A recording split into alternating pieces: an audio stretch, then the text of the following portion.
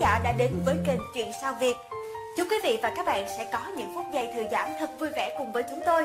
Và đừng quên nhấn vào nút đăng ký bên dưới và chuông thông báo để được xem những tin tức mới nhất mỗi ngày nhé. Và bây giờ, xin mời quý khán giả chúng ta cùng đến với những tin tức nổi bật nhất trong ngày.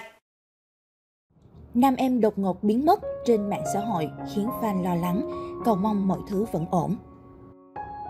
Drama quanh nam em lại nói dài thêm khi mới đây cộng đồng mạng đào bới trở lại chia sẻ của Trấn Thành dành cho cô gái này.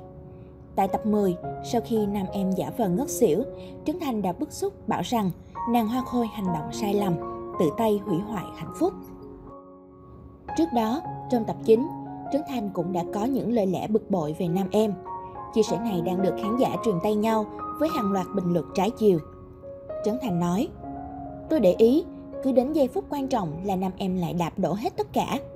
Đáng lẽ vào giây phút hẹn hò ban đêm nên nói cái gì chân thành, nhẹ nhàng thì lại đi nói về sự chết chóc, tiêu cực.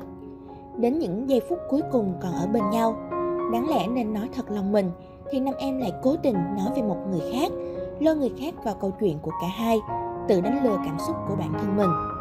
Tôi không thể bên nam em được, cô ấy đúng là drama queen. Thiệt tình tôi giận nam em, bạn hư quá. Chính nam em đã tự đạp đổ hạnh phúc của mình. Nam em tự đẩy lãnh thanh ra xa, chứ không phải cậu ấy không muốn đến với bạn. Về phía lãnh thanh, nam diễn viên có thái độ không rõ ràng trong tình cảm với nam em, cũng được Trấn Thành nhắc tên. Lãnh thanh thừa nhận có rung động nhưng chẳng dám tiến tới bên nam em. Sự giằng co của lãnh thanh làm Trấn Thành cũng phát bực. Trấn Thành cho rằng anh không thấy tội nghiệp cho lãnh thanh vì chàng trai này phải tự biết lo cho số phận của chính mình. Trấn Thành chỉ tội nghiệp cho cảm xúc và sự chịu đựng của lãnh thanh mà thôi. Về phần nam em, hiện tại Facebook cá nhân của cô đã biến mất.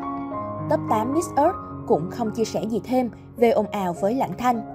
Người hâm mộ nam em đang vô cùng lo lắng, không biết tinh thần của người đẹp đã ổn định lại sau các ồn ào vừa qua.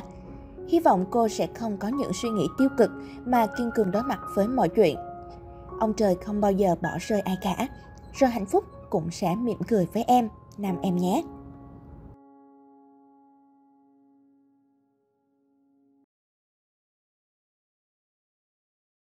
Xin chân thành cảm ơn quý vị và các bạn đã quan tâm và theo dõi video. Hãy nhấn vào nút đăng ký bên dưới để được theo dõi những video mới nhất được cập nhật mỗi ngày quý vị nhé.